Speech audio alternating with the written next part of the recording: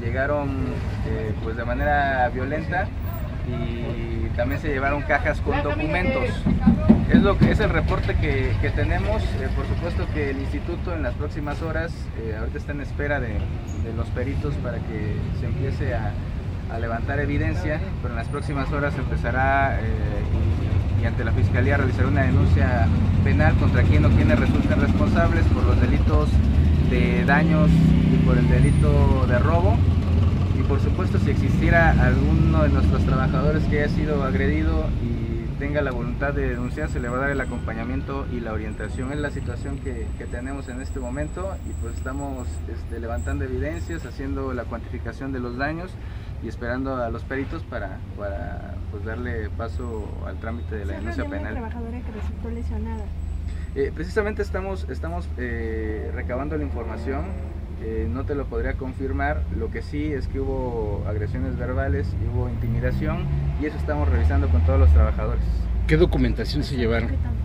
Mira, estamos en esta revisión, lo que te puedo decir, lo que les puedo decir es que aquí hay certificados, aquí hay este, documentos con datos personales, actas de nacimiento, eh, sobre todo son esos certificados y algunos eh, títulos es lo que se maneja en esta oficina. Estamos viendo qué fue lo que, lo que se llevaron. ¿Pero tres niveles educativos solamente uno? No, el instituto únicamente genera títulos paranormales. Es lo que, lo que genera, no ya la coordinación de educación media superior es la que es el enlace para generar sobre otro tipo de, de, de licenciaturas, pero aquí solo normales. ¿Solicitarán algún tipo de resguardo ahora para las instalaciones de Yepo? Por supuesto, mira, hay una mesa de seguridad donde hay una estrecha coordinación entre el instituto y la Secretaría de Seguridad Pública y por supuesto que el tema ya se tocó ahí y se estará analizando por parte de Seguridad Pública cómo, cómo fortalecer y brindar garantías a nuestros trabajadores, que es lo más importante, que nuestros trabajadores tengan la garantía de poder seguir realizando su función y seguir realizando pues, la función educativa, que es lo que no, no se puede detener en Oaxaca a pesar de, de cualquier coyuntura como esta que vivimos. ¿no? Oye, ¿cuántas, ¿cuántas denuncias han presentado en todo lo que va de, del movimiento magisterial?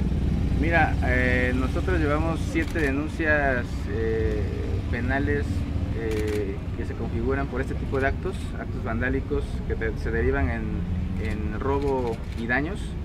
estamos hablando de que hemos sido perjudicados en instalaciones de la Dirección para la Convivencia Escolar, en la Dirección de Servicios Regionales, en la Dirección de Servicios Educativos, la Subdirección General de Servicios Educativos, en la Dirección Jurídica, un, una instalación ha sido dañada, ahora en esta que pertenece a la Dirección de Planeación Educativa, también tenemos y hemos denunciado eh, daños en la Dirección de Derechos Humanos del Instituto y se suman siete, siete denuncias penales por este